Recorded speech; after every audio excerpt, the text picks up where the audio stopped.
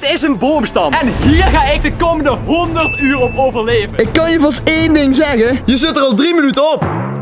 Dit is echt niet leuk, Jeppie. En vanaf nu mag ik de grond officieel niet meer aanraken. En als jullie denken dat dit fake is, hier staat een camera die Rick 100 uur lang blijft filmen en in de gaten blijft houden. In de tussentijd komen er een aantal challenges waardoor Rick hout kan verdienen. En hiermee kan hij zijn zitplek misschien iets comfortabeler gaan maken. Begin me nu eigenlijk pas te beseffen dat 100 uur maar liefst 4 dikke dagen zijn. Weten jullie nog wat jullie aan het doen waren 4 dagen geleden? Ik niet. Voor de veiligheid heb ik wat extra camera's opgehangen, zodat ik Rick van een afstand mooi kan monitoren. Want stel voor, Rick kukelt er vanaf, dan ben ik, dan ben ik te laat.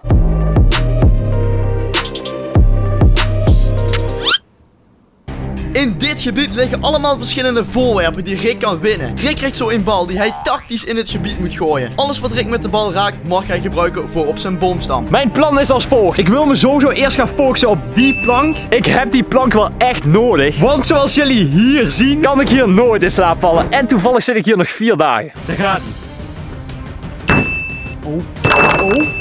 Oh. Dit is de jackpot! Je hebt de jackpot gegooid, denk Ik heb ik. een plaat en volgens mij echt een paar belangrijke balken die ik nodig heb. Ik had nu wel een grote plaat gewonnen, maar deze moest er ook op. Dus ik moest aan de zijkant van de boom gaan hangen, waardoor de challenge bijna over was. Maar met wat zaag en tilhulp van Jesper was het me toch gelukt, waardoor ik er eindelijk op kon. Planken die ik gewonnen heb, heb ik nog een randje kunnen maken. Want als ik die niet had, was de kans technisch gezien best groot dat ik nu dood was. En trouwens, jullie vragen je natuurlijk af, Rick, waar ga je naar de wc? Nou jongens, dit is mijn wc. Dit is het meest ranzige wat ik ooit gedaan heb. Ik zit onder een zeil. Ik denk dat het beter is voor mij en voor jullie dat ik de camera even uitzet. Dat voelde vreselijk, maar toch goed tegelijk. Een bij. Hier was ik al bang voor. Ga weg. Besef trouwens even dat ik hier 3 meter hoog zit. Ik kan geen kant op. En oh ja, trouwens, ik heb helemaal geen telefoon ter beschikking. Alleen een fucking random bananenschil. Mam, ik eh, hou heel erg van jou. En eh, trouwens, ik zit eh, bij Jesper op een boomstam, 100 uur, 3 meter hoog, niks aan de hand. Heel fijn. Dat zijn toch wel even de emotionele momenten, hè? Ik moet zeggen, ik heb ook een beetje heimwee. Je woont letterlijk daar! Ik heb zo vaak vermoeden dat de hele buurt mij ook hier gewoon kan zien. Aangezien het donker is en ik volledig in de spotlight sta. Ik sta hier nu op een kilometer afstand en ik kan inderdaad concluderen dat iedereen Rick kan zien. En daar bij die felle lampen, daar zit hij. Hey, dikzak! Zegt hij nou dikzak? Hallo Rick! Het is nacht en Jesper zit te schreeuwen. Ik moet trouwens wel echt even actief bezig blijven. Dus ik ga me even een rondje wandelen hier. En ik moet stoppen, want ik word veel te duizelig. En ik heb gehoord dat als je boom bestelt, dat je heel snel in slaap valt. 1, 2...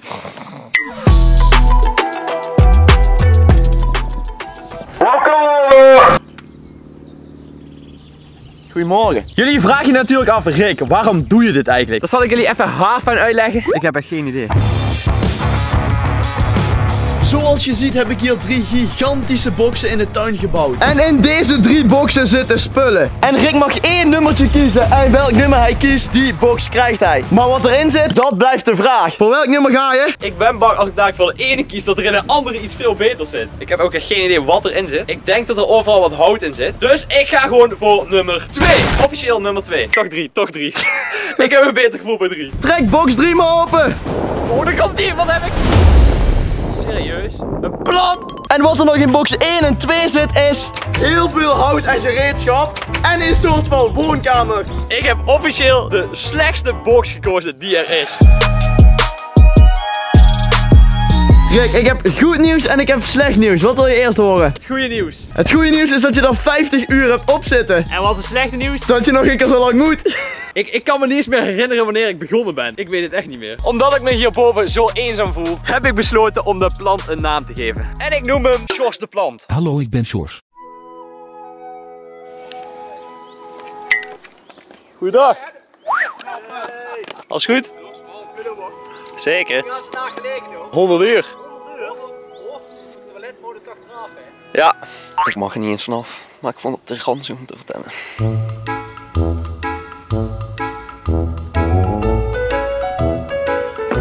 Stop ermee! Ja, nee, dit is niet leuk. Dit is niet leuk. Ten eerste, ik heb al de hele tijd in angst dat deze boom gaat omvallen. Dus blijf van je poot met deze boom af. Ja, ik heb net van Jesper een gieter gekregen, want Sjors de plant moet natuurlijk ook water hebben. Een beetje water. Het is een nepplant, maar het gaat om het idee. Zo. In dit gebied mag Rick een bal gooien. Waar de bal stil komt te liggen is het aantal punten die hij behaald heeft. En met die punten mag hij producten uitkiezen van deze houtstapel. Maar hij moet ervoor zorgen dat hij niet te ver gooit, want dan heeft hij niks. Dus als de bal in dit gebied komt, mag hij 20 producten kiezen. En als hij in het laatste gebied komt, dan heeft hij niks. Hier heb je een bal.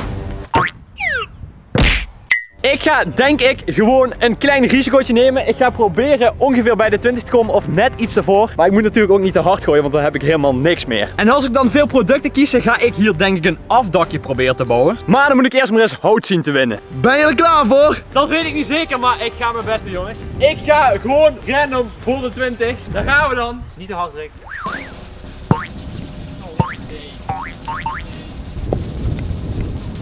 14 spullen. 14 spullen. Ik zeg maar zo, jongens. Beter dan niks. De 14 producten zijn boven. En ik heb gekozen voor heel veel hout. Kan ik alleen maar kiezen uit hout, dus eh, dat is logisch. En ik heb hier een boormachine, een dikke peerzaag, eh, een rolmeter, een zonnebril. En hiermee ga ik het afdakje maken.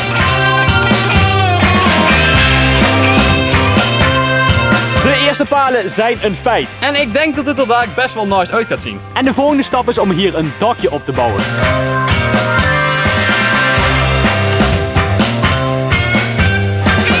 Dames en heren, hier is hij dan, het afdakje. En ik moet zeggen, ik vind het er prima uitzien. En dan kan hier mooi mijn wc komen. Zodat ik overdekt kan poepen.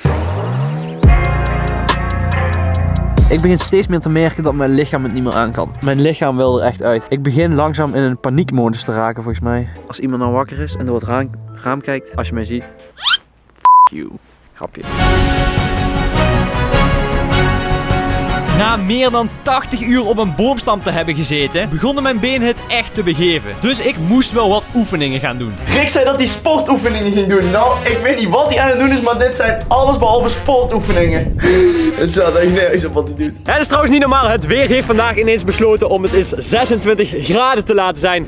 Dus ik verbrand me hier echt kapot. Oh, het is veel te warm. Oh, oh.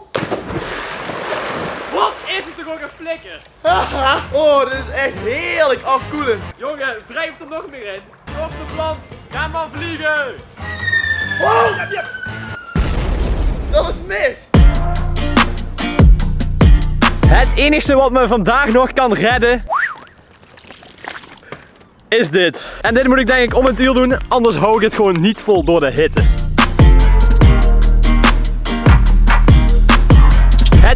Het allerlaatste uur is officieel aangebroken. En dat betekent dat ik uur 99 officieel aan kan kruisen. Ik zit hier nu dus al 99 uur op een boomstam. Als je nog niet geabonneerd bent, vergeet dat zeker niet te doen. Ik heb namelijk gehoord dat dat maar 1 seconde duurt. 99 luftballon.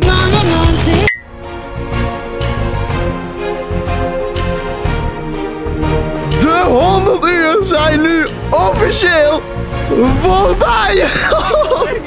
100 uur, jongens. 100 uur. Check! Ik heb het gewoon echt gedaan. Kan ik nog lopen? Dat is de vraag. Ik heb dus zonder grap echt 100 uur op deze boomstam gezeten. Ik heb me vier dagen niet gedoucht. Ik heb vier dagen geen tanden gepoetst. Dus het eerste wat ik nu ga doen is waarschijnlijk een frikandelbroodje eten. Doei!